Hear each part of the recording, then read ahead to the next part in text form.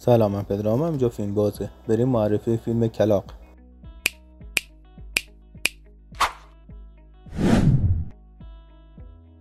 قبل از اینکه شروع کنیم یادتون نره کانال رو subscribe کنید و زنگوله کنارش هم روشن کنید تا جدیدترین ویدیوهای ما با خبر باشید.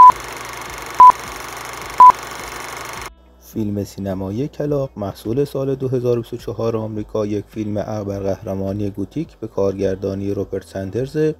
این فیلم بر اساس کمیک های کلاق ساخته شده و بازیگران اصلی فیلم هم بیل اسکاشگورد به همراه افکی توینگز هستند. خب بریم سراغ خلاصه داستان فیلم.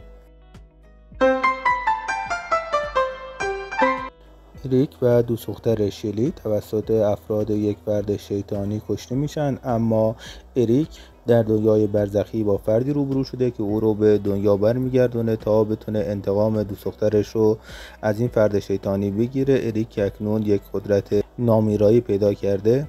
شروع به کشن افراد این فرد می‌کنه تا بتونه به او رسیده و انتقام خون دو دختر شلی رو ازش بگیره.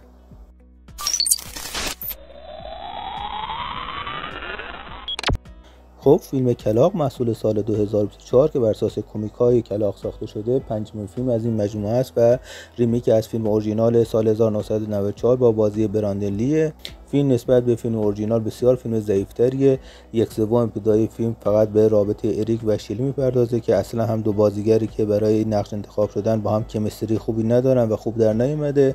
در فیلم اورجینال بسیار خوب تونسته بود فضای دارک و مرموز کمیک رو به تصویر بکشه اما در این فیلم در این مورد هم موفق نیستن. تقریبا میشه گفت نیم ساعت انتهایی فیلم تقریبا فیلم خوب شده و می‌تونه اون لحظات دارک رو که لازمه براش به تصویر بکشه اما این هم زیاد طول نمی‌کشه و باز هم پایان بندی زیاد خوبی نداره. فیلم و در کل میشه گفت یک remake بسیار بده که اگر می‌خواین ببینیم پیشنهاد میشه که فیلم اورجینال سال 1994 ببینید و اصلا این فیلم هم ارزش تماشا کردن و وقت گذاشتن رو نداره.